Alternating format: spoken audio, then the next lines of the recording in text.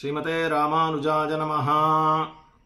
गरुडमालामन्त्रः ॐ नमो भगवते महागरुडाय पक्षीन्द्राय विष्णुवल्लभाय, त्रैलोक्यपरिपूजिताय, उग्रभयङ्करकालानलरूपाय, वज्रनखाय, वज्रमुखाय, वज्रतुण्डाय, वज्रपुच्छाय वज्रपक्षानलशरीराय वज्रदन्ताय ॐ ईं ऐं ॐ ह्रीं महागरुडाय।